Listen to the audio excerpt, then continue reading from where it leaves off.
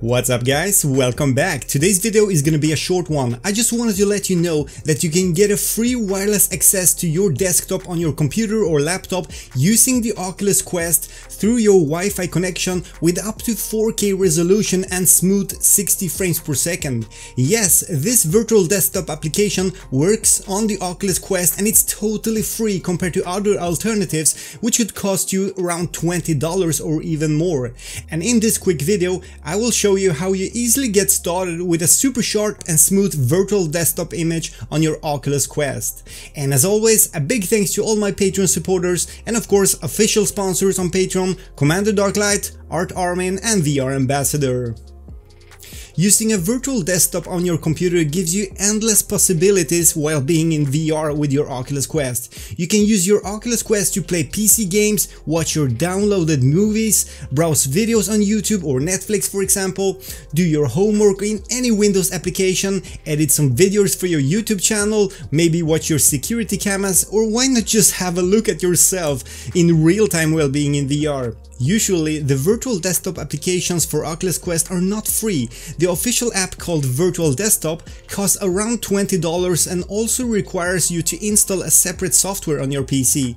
Other applications like Big Screen Beta are free, but the frame rate is often quite bad and it's nearly impossible to do some serious desktop work using Big Screen Beta and definitely not play any PC games with a smooth frame rate. But there is a free application called Moonlight Player that basically does the same but without any costs and even with a better resolution and especially better framerate. It uses the NVIDIA GameStream as the server to send the image, which is built in into the GeForce Experience software. So yes, the only requirement here is that you need a PC or a laptop with an NVIDIA GeForce graphic card. Yesterday I showed you in my last video how you can play any of your Windows PC games on your Oculus Quest using the Moonlight player and if you haven't seen it, you better check it out first. In that video I also showed you how to install this application on your Oculus Quest and how to get it running with your PC.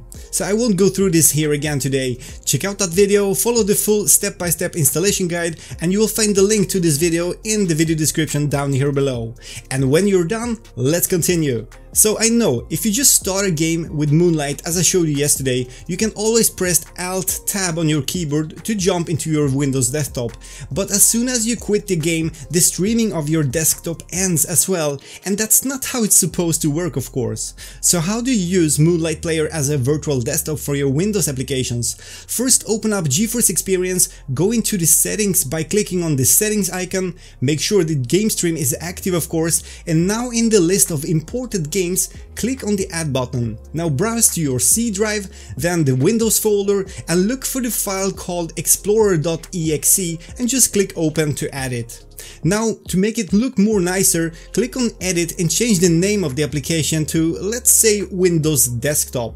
You can even add some custom thumbnails to the shortcut, but unfortunately Moonlight Player will not show it inside of the Oculus Quest, at least not yet. So that's basically it. Now put on your Oculus Quest, start up Moonlight Player located in the library under unknown sources, log into your PC just like I showed you yesterday and now browse with your thumbstick and find your new shortcut called Windows Desktop. Once you click on it, you will end up with your PC desktop in front of you. Remember, you can create a desktop icon for unlimited amount of PCs you have at home. This way you can access any PC in your network with just a click. You can use your mouse and keyboard of course just like always, but also the built-in mouse support which has two different mouse modes. One is head orientated which is called gaze and the second one is thumbstick control called trackpad. The gaze mouse control works pretty nice I have to say and you can click and double click using any of your Oculus Quest controllers. The trackpad mode lets you move the mouse with the thumbstick on your Oculus Quest controller but it's quite wonky at this time and not really useful useful unless you get used to it, so I'm not really recommending that option. Also, you can change the size of the screen as I showed you yesterday and the distance at any time you want. Don't forget that you can also change the resolution of the desktop. I think 1080p at 60 frames per second is super sharp already, but 4K resolution with 60 frames per second is also available if you want some extra clarity. Well, I gotta say, using Moonlight for virtual desktop on the Oculus Quest is surprisingly easy and comfortable. The display and resolution of the Oculus Quest is more than enough to see and read all the icons in 1080p resolution already, and even the smallest text on websites and applications are fully readable. I would highly recommend you to try this before you spend 20 bucks on a paid application that simply does the fundamental features in the same way. And what do you think about this guys? Is Moonlight Player better than than the paid application Virtual Desktop? Let me know guys. Thanks a lot for watching everyone and don't forget to subscribe and leave a like on this video. Lastly, a big thanks to my Patreon supporters and a special thanks to my official sponsors on Patreon, Commander Darklight, Art Armin and VR Ambassador.